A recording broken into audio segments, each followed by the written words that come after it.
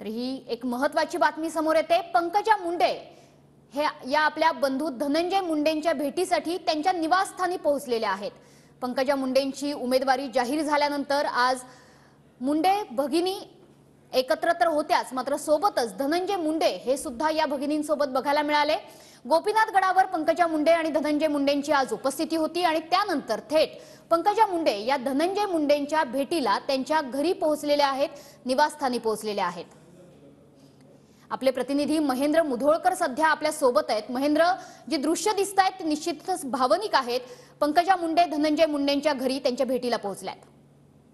नक्कीच मनुश्री ही जे दृश्य आपण दाखवते टीव्ही नाईन वरती एक्सक्लुझिव्ह हे दृश्य आहेत.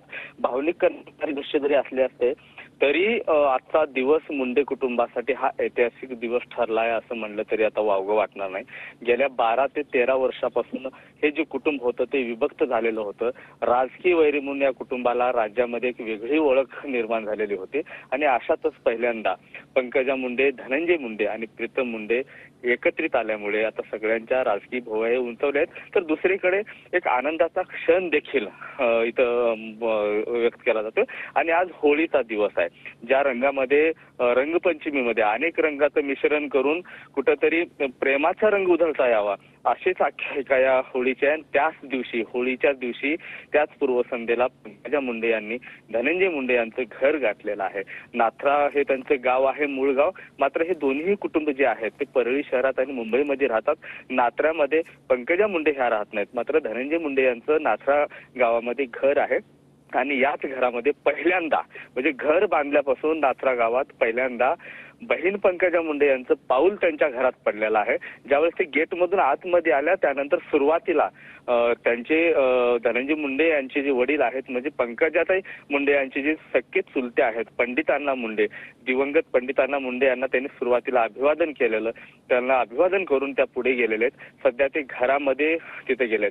खास म्हणजे आज पुरणपोळीचा आस्वाद असणार आहे. तिन्ही भावंड एकत्रित बसून पुरणपोळी म्हणजे गोड जेवण ते आज करताना पाहतात. सकाळपासून एक उत्कुंठा शिगेला लागलेली होती. राज्यभर हे बघत होतं टीव्ही नाईन वरती हे सगळे दृश्य जे आहेत आपण वारंवार दाखवत आलेलो होतो की पहिल्यांदाच एका भावाने बहिणीचा एक वेगळा अनोखा सत्कार या ठिकाणी केलेला आपण पाहिलेला आहे. गोपीनाथ गड ज्या गडावरती अं, दिवंगत लोकनेते गोपीनाथ मुंडे यांची समाधी आहे त्या समाधीच्या ठिकाणी देखील पहिल्यांदाच भावंड तिन्ही म्हणून नतमस्तक झाले. आणि मोठा भाऊ या नात्याने धनंजय मुंडे यांनी देखील बहिणीला कुठेतरी ओवाळणी द्यायचा आहे. हा संकल्प करत बहिणीचा एक अनोखा आणि जंगी स्वागत त्यांनी या ठिकाणी केलेला आहे. त्यानंतर परळीमध्ये देखील अशाच पद्धतीनं स्वागत केलं.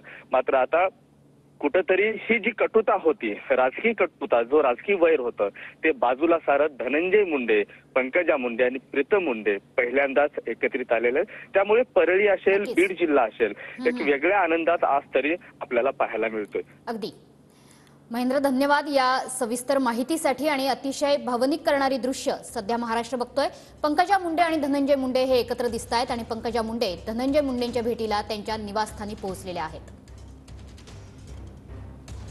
आपण बघतोय की पंकजा मुंडे प्रीतम मुंडे आणि धनंजय मुंडे ही तिन्ही भावंड आज एकत्र आलेली आहेत. मुंडे परिवारासाठी हा अतिशय महत्त्वाचा आणि ऐतिहासिक दिवस मानला जातोय.